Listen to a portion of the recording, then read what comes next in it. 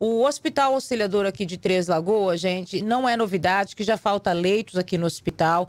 Médicos também, profissionais de um modo geral também já começam a faltar. O hospital já tem dificuldades para contratar profissionais e, além de tudo, gente, já está faltando medicamentos, medicação necessária para manter os pacientes com a Covid-19 internados na UTI. Eu conversei com o diretor administrativo do Hospital Auxiliador, o Marco Antônio Caldeirão, que falou, inclusive, sobre a ampliação de leitos. Né? O Hospital Auxiliador, inclusive, terá um espaço ali destinado para um hospital de campanha. Nós fizemos um trabalho em conjunto com o município, uma reunião com a equipe técnica, a gente de aproximadamente cinco horas, né? Para tentar uh, ver a possibilidade de aumentar leitos, né? Uh, vi o desejo do nosso prefeito de ter um, um hospital de campanha e aí fui chamado para ser ouvido ontem no, junto com o município se esse hospital de campanha deveria de ser fora ou no hospital. Todos nós chegamos à conclusão que esse hospital de campanha precisa ser dentro de uma estrutura hospitalar, porque já está dentro de uma estrutura e a gente consegue dar mais qualidade para o atendimento. Se estivesse fora, não teria todos aqueles recursos que precisariam ter. Então, ganha-se mais qualidade com o hospital de campanha dentro de um hospital, de um hospital que tem todos os recursos. A ideia é de abrir 50 leitos né, de hospital de campanha. A gente está analisando as estruturas, já está mobilizando para ver se a gente consegue já abrir 27 leitos agora nos próximos 10 dias. Só que assim, a gente está muito preocupado com algumas demandas, que não depende somente do Hospital Auxiliadora nem do município. Nós estamos, com, por exemplo, com demanda de insumos, de oxigênio. O Brasil todo hoje está com pouco, está com recursos limitados de oxigênio. A gente tem medo de que tenha um quantitativo elevado de leitos dentro do Hospital Auxiliadora e no futuro venha a faltar oxigênio, por exemplo material de anestésico, medicamento. A gente não está praticamente conseguindo comprar material e medicamento porque os fabricantes não estão entregando. Nós estamos aí com a ajuda do Estado, do município, nessa distribuição. E essa distribuição não está sendo suficiente de insumos, de material, de, principalmente de medicamento anestésico. Isso nos preocupa, porque nós também queremos que a sociedade entenda, que as pessoas entendam que a pandemia é uma coisa que está muito séria e que não pode só responsabilizar aquelas pessoas que estão aqui tentando montar uma estrutura para acolher as pessoas. Então, peço que vocês tenham um pouco de, de, de noção de que a coisa não está tão simples assim para a gente resolver da noite para o dia naquilo que realmente é num tempo normal de um hospital normal. Nós estamos vivendo um cenário de muita luta por conta que o Brasil está vivendo um cenário de muitas, muitas dificuldades e as dificuldades maiores estão na mão de obra, está nos recursos de materiais. Nós sim estamos montando, mobilizando a estrutura física e já estamos mobilizando busca de profissionais para a gente poder abrir essas unidades.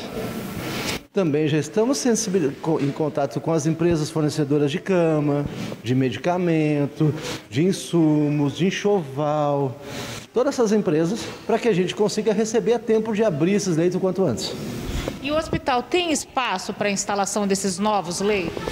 Nós temos uma unidade UTI que está praticamente com 80% de, de pronta para mais de 40 leitos.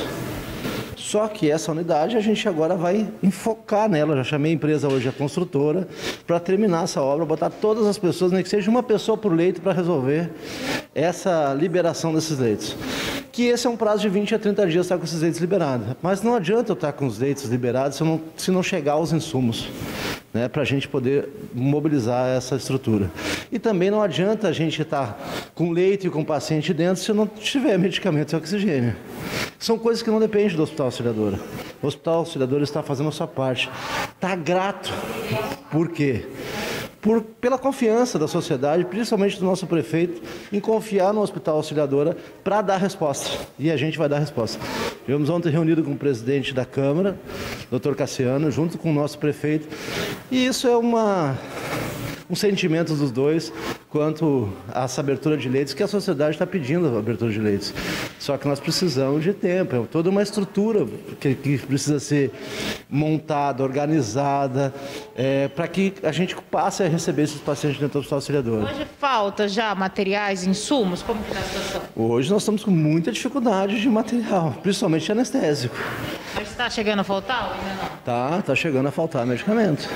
E isso está nos preocupando, tá? A gente está com bastante dificuldade para adquirir, o Estado está com bastante dificuldade para adquirir, porque o fabricante não está entregando.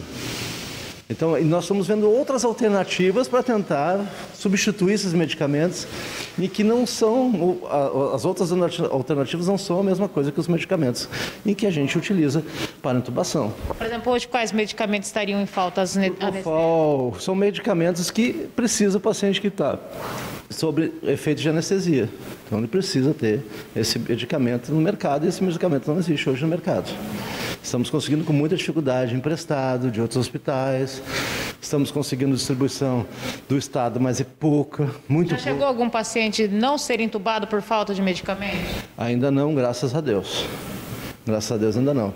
Esperamos que isso normalize o quanto antes. Junto com esses leitos que a gente está abrindo de hospital de campanha, que são 50 leitos, estamos abrindo mais 20 leitos de UTI também abrindo estrutura, organizando essa estrutura e já buscando é, é, contactar fornecedores e empresas locais para ajudar no recrutamento de pessoas, porque nós também não estamos dando conta. Então já fizemos esse trabalho ontem, de ontem para cá, já estou disparando com toda a equipe toda essa solicitação. Também vamos passar aí a trabalhar junto com a UPA para ajudar a UPA, porque a UPA tem, tem garantido lá um atendimento que está ajudando o Hospital Auxiliadora. Nós estamos com, hoje com 17 pacientes no nosso pronto-socorro. A UPA está com mais 30. Se a UPA não tivesse esses 30, nós estaríamos com 47 pessoas aqui no nosso pronto-socorro. E a gente vai passar a, a unir forças junto com a UPA no sentido de nós temos uma cozinha industrializada e que nós podemos fornecer essa alimentação para a UPA. Nós vamos, conversamos ontem com, com o presidente da Câmara e com o nosso prefeito, dizendo que nós podemos ajudar nesse sentido a UPA e também vamos ajudar com, as, com os enxovais, a lavagem dos enxovais dentro do hospital para ajudar a UPA também. Hoje tem pacientes aguardando na fila de espera aqui no hospital? Tem pacientes de convênio. A questão hoje não é mais recursos financeiros. A questão é ter disponibilidade. Então nós temos hoje 5 leitos de convênio UTI e 25 leitos de SUS. São 30 leitos o hospital tem? 30 leitos hoje. Todos estão ocupados? Todos lotados e permanecem lotados. E a gente está correndo contra o tempo. Hoje praticamente implorei para a pessoa, para a pessoa das, da construtora botar tudo que puder de mão de obra dentro dessa estrutura para a gente conseguir liberar os, esses leitos o quanto antes.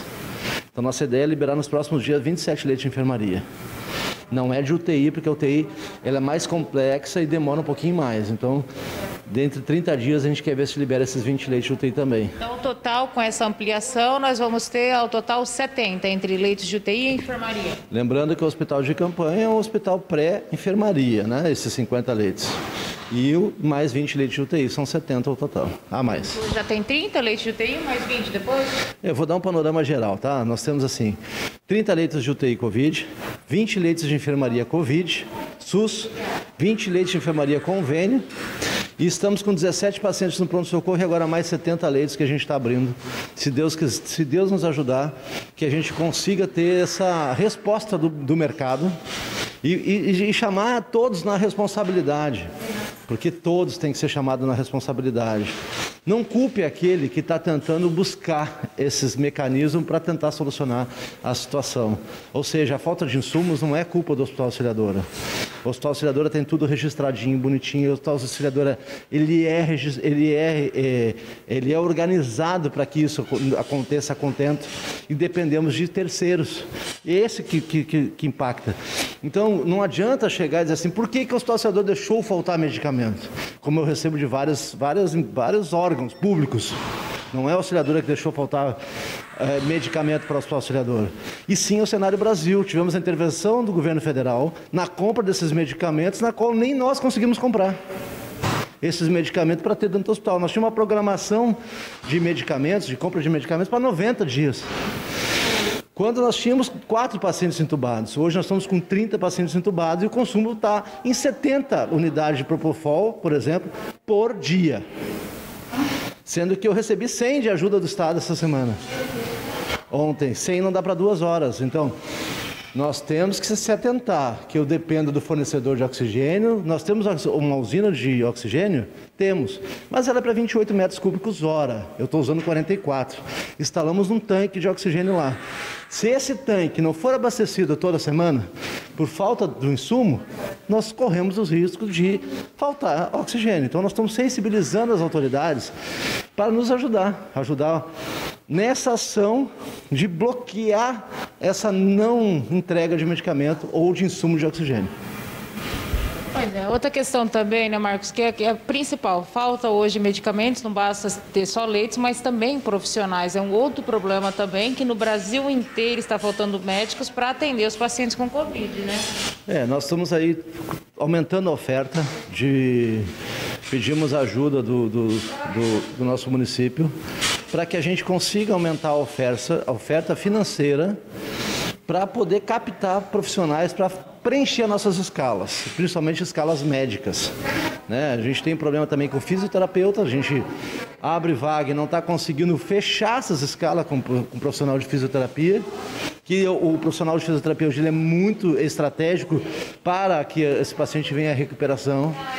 Então nós ofertamos isso já com, com o município, ofertamos nas mídias que o profissional que trabalha na área de Covid médico, que a gente tem uma, uma, uma condição diferenciada, já que os outros lugares estão oferecendo outras situações diferentes das no, da, nossa, da nossa capacidade financeira, em que a gente está perdendo de trazer outros profissionais para cá de outras regiões.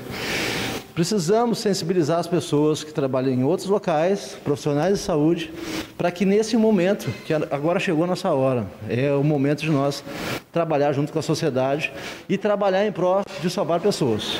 E a prefeitura também, inclusive, vai ajudar com auxílio de custo, né, para poder manter essas equipes que atendem no Hospital Auxiliadora.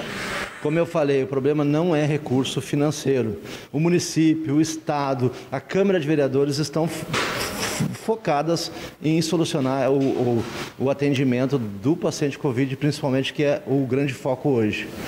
Então, o problema nosso está além do problema financeiro, é nas, de, de sensibilizar o que está acontecendo com o Brasil. Pessoas não estão, os hospitais todos do Brasil não estão conseguindo anestésico, não é a situação do Hospital Auxiliadora. Ninguém está conseguindo comprar anestésico. Então, nós estamos com medo também que isso possa acontecer com o nosso oxigênio. E além disso, nossos profissionais estão no limite da sua, da sua, sua capacidade de atendimento porque nós lidamos com pessoas e pessoas lidam com pessoas, e pessoas também se sensibilizam com pessoas. Então, essa sensibilização também fragiliza nossa, nossos, nossos profissionais de saúde hoje que estão atuando.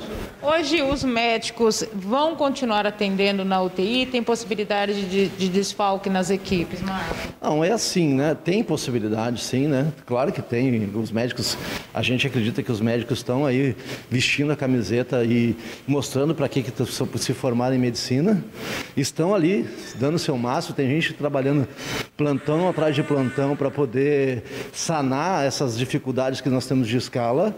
A gente acredita sim que os médicos são profissionais que não vão abandonar o hospital, mas não são aqueles que estão aqui, são aqueles que eu não consigo para preencher uma escala. Então, esses profissionais que estão aqui hoje, a minha equipe que está aqui hoje, médica, ela não está conseguindo contratar outros médicos para compor a equipe dela para ela poder atender a demanda que está hoje. Nós estamos com 30 pacientes entubados, então pacientes graves. Nós estamos com 17 pacientes no pronto-socorro graves. E isso tem que mobilizar a estrutura. E isso não, não, não é da noite para o dia, porque a gente precisa selecionar, contratar, treinar. E a gente às vezes não estamos conseguindo tempo de capacitar as pessoas para isso. Então a gente capacita ela junto com o profissional do lado. Então é isso que eu queria que você, da, da sociedade, se sensibilizasse. O momento não é um momento de fazer aglomeração. Vocês nos ajudam muito se você não aglomerar e respeitar essa, essa, essa situação. Porque só acredita nessa situação quem vivencia. E aí sim passa a ficar desesperado porque não consegue ter uma oportunidade de leito. Então nós somos, nós temos leitos limitados, estamos ampliando. Isso leva tempo. A vacinação começou, graças a Deus. Eu acho que isso vai evoluir rapidamente. Mas até lá a gente precisa dar resposta. E a gente está tentando dar resposta. A equipe do Hospital Auxiliadora se, se, está sensibilizada porque é nosso papel trabalhar em prol da sociedade. E nós estamos fazendo isso.